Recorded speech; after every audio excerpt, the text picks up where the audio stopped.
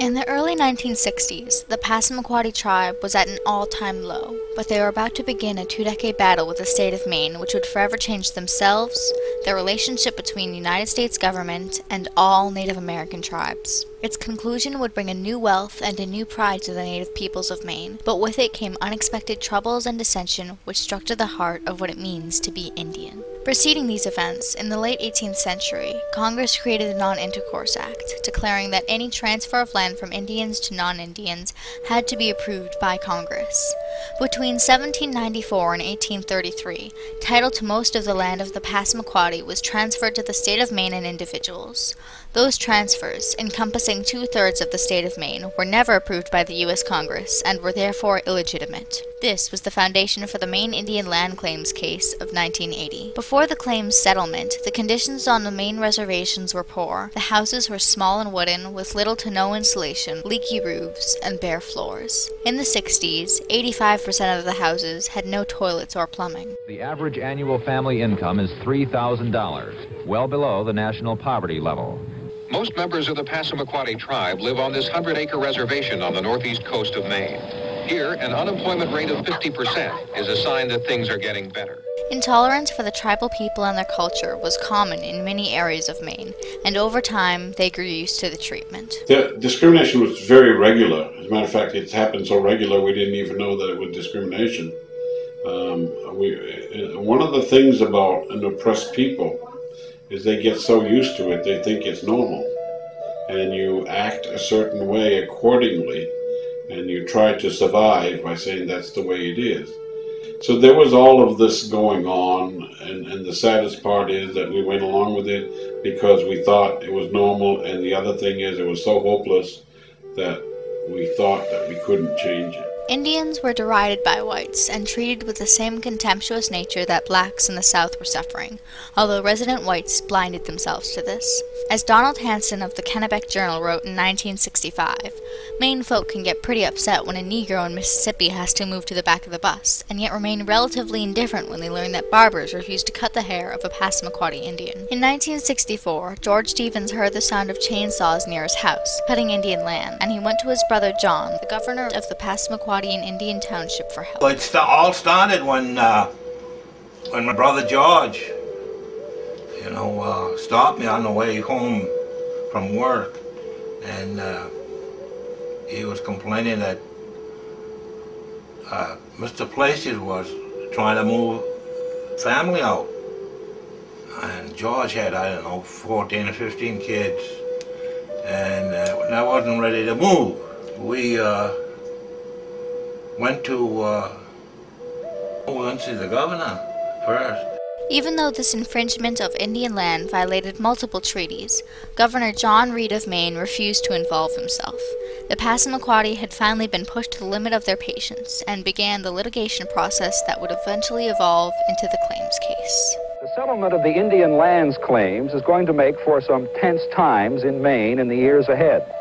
But for the Passamaquoddy and the Penobscot, it is the beginning of the American Indian dream to play the game by the white man's laws and win.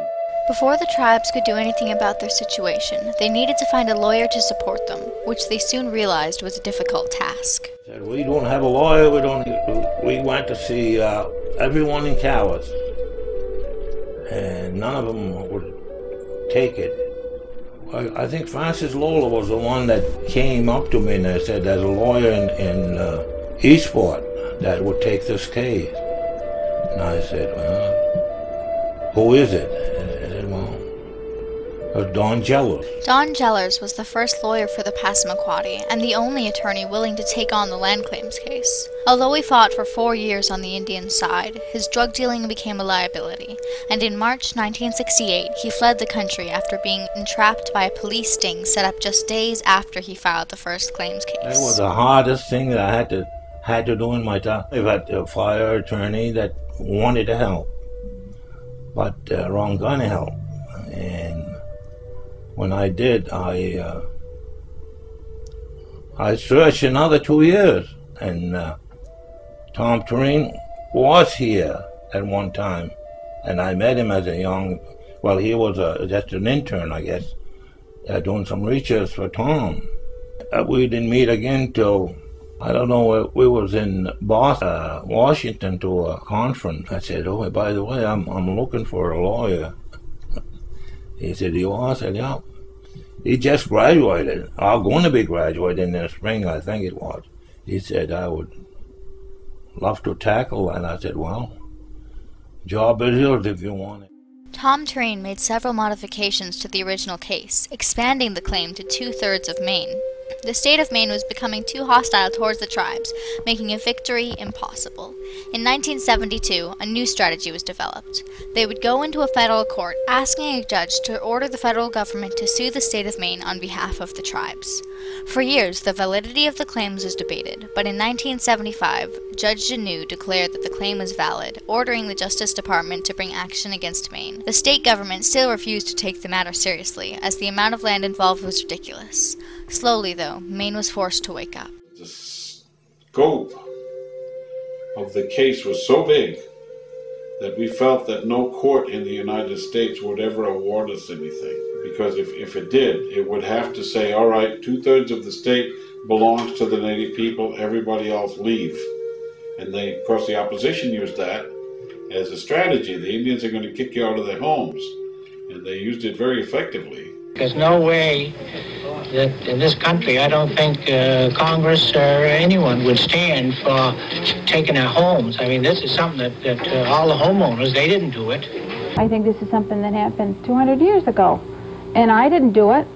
And, you know, you and I, as a white middle-class American, don't you know, all we do is have to take care of this minority and that minority, and nobody really ever thinks about us. Farmers threatened to shoot any Indians that came near their property, and Indian children were being beaten up in schools in Woodland, Eastport, and Old Town. Congressmen and senators who had originally helped the tribes backed out when they were threatened, until the only white leader supporting the Passamaquoddy was President Carter, and his term was nearly over. The federal and state governments tried to delay the case until Reagan was elected, as he had promised to terminate it, and the tribes were running out of money to send people to the negotiations. It became urgent for them to make sacrifices so they wouldn't lose everything. Although the tribes claimed right to over 12 million acres of the state of Maine, they soon made considerable concessions, accepting a much smaller amount. Not everyone in the tribes were happy with this compromise, though, saying that more was lost than gained. They had ways of trying to get you to say yes to something you didn't understand. And I mean, people here even myself, I've I've had three plus years of college, um, and I could not understand that document. In 1980, after a 10-year battle, the tribes forced the United States government to compensate for millions of acres stolen over the past 200 years finally accepting $81.5 million and 300,000 acres of designated woodland, as well as opening the door to successful land claims negotiations for many other tribes. Instead of wood shacks and bare floors, the reservation houses are like any other modern house warm, clean, with electricity and running water. But for these modern comforts, have the Passamaquoddy given up what it means to be Passamaquoddy? The sudden wealth of the tribe brought back relatives who have given up their heritage for a more profitable life.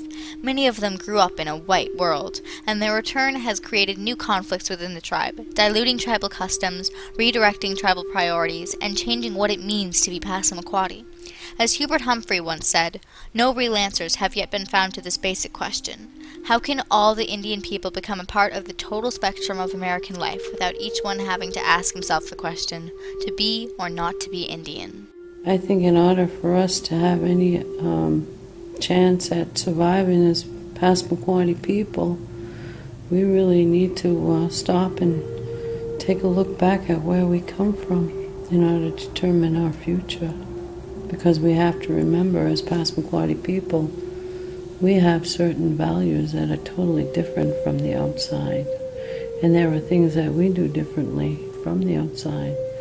But until that's recognized, we're just going to blend right into the mainstream.